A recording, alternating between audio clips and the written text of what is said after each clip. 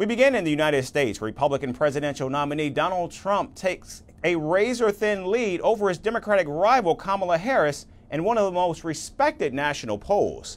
According to the New York Times Siena College poll, Donald Trump is now ahead of Kamala Harris by just one point.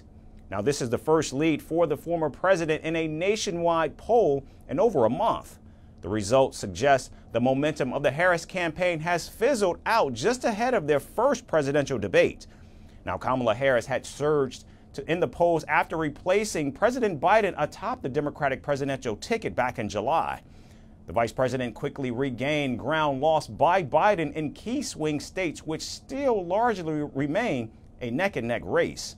But the latest Times Siena poll indicates that the economy, abortion, immigration, cost of living, and democracy remain the top issues for voters.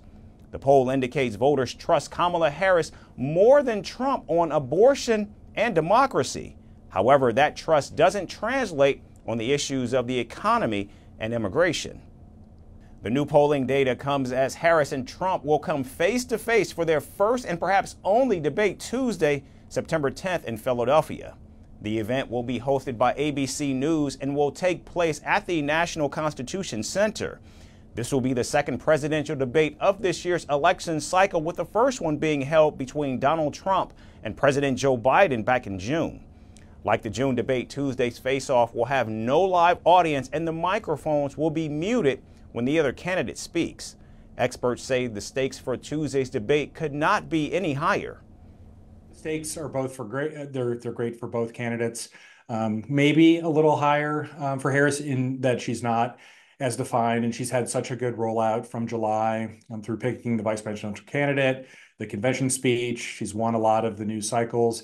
And so you know, people are expecting a lot, especially if they don't know a lot about her going into it. Uh, Trump, this may be his last chance to change the narrative and the trajectory of the race. He obviously was doing much better in the national and battleground polling against uh, President Biden, and now everything is tightened. Um, and so this probably is going to be the only debate. And so trying to change the narrative, the focus, this 90 minute event will be the way to do it.